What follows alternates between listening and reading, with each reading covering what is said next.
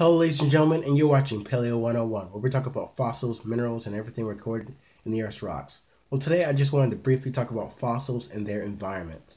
So, let's say you go to a rock outcrop in Ohio or Tennessee, and you find a rock that looks like this.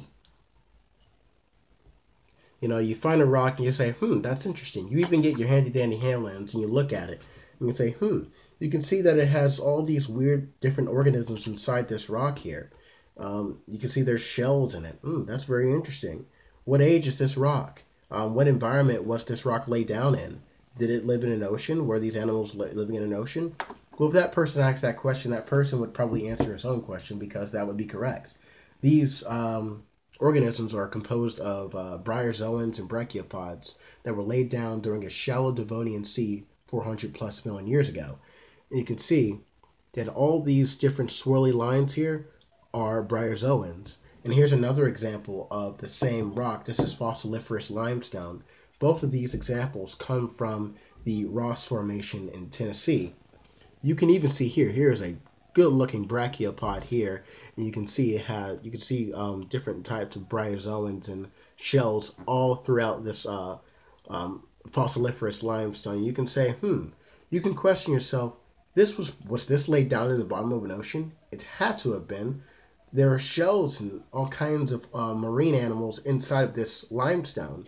So limestone usually, uh, in fact, most likely always forms in a shallow marine environment. And you can say, hmm, this had to have been laid down during a shallow ocean. This is uh, fossiliferous limestone, and all these organisms were laid down in an ocean 400 million years ago.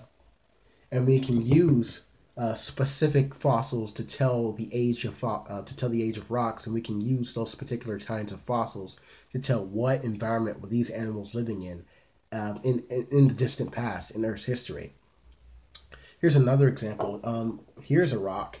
Um, this is um, com- just composed of limestone. Uh, excuse me, it's composed of just different kinds of plant material. You can see here, here's a horsetail, and here a couple of ferns um, being stretched out from this uh, line, from being stretched out from this uh, uh, shale. And here's another example. Here's a beautiful, well well preserved uh, uh, plant fossil here. And so you see this, you can see, oh, this is composed of uh, a coal. This is composed of shale, and most likely shale forms in marine environments such as mud, mud environments, muddy environments. And you can say, hmm, this had to have been some type of tropical swamp uh, 300 million years ago.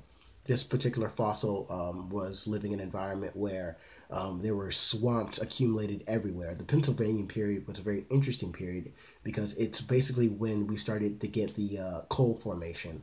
And you can see here, here's a perfectly preserved plant fossil in uh, this particular kind of rock, which is shale. So fossils tell a unique story. They tell the age and they tell how old an animal was. They also tell the environment, what the environment was like millions of years ago. We can look at rocks. We can even look at different minerals inside of rocks to tell what uh, what the environment was like. Um, there's a green clay-like mineral called glauconite, and there are a couple of examples of glauconitic limestone and glauconitic sandstone out there. And it's a green mineral, and glauconite usually most most likely always forms in a shallow marine environment. So based upon that mineral alone, if you find that particular mineral, this green clay-like mineral, you can say, hmm, this had to have been a, a marine environment. We can see glauconitic limestone. We can see glauconitic sandstone. And you can say, hmm, if we see this particular kind of mineral, we can say, well, if you can find glauconite anywhere, then this most likely had to have been a marine environment. Um, we can also look at the features of rocks. Here's a good example of a good, nice piece of sandstone.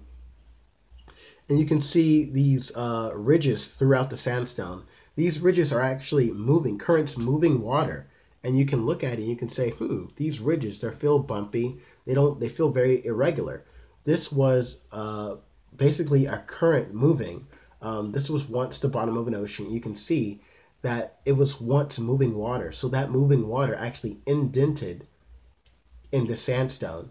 And you can say, well, if you see ripple marks like these, so you can you can definitely tell that this was laid down in a marine environment. That this had to have been a marine environment because you see ripple marks, maybe maybe a beach or maybe say uh, a riverbed or something like something like that. So if you see ripple marks and if you see those types of geological features, then you're most likely going to be in a marine environment.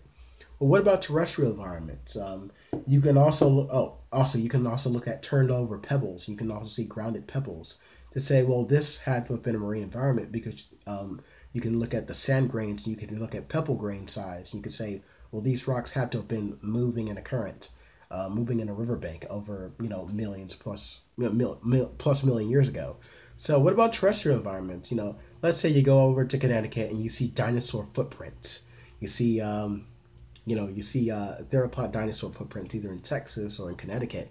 And you say, wow, that's interesting. What was the environment like over that? Oh, plus, when those dinosaurs were walking around.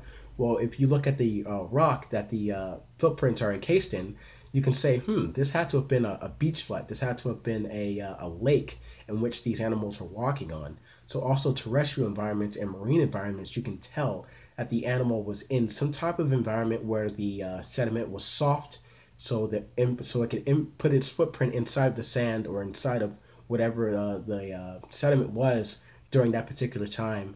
Um, you can probably look at the uh, sandstone. You can see, wow, a dinosaur was stepping inside of something, um, inside of a mud or inside of a, a, a beach, and it lifted up its toe and then made another track, and then it made another track.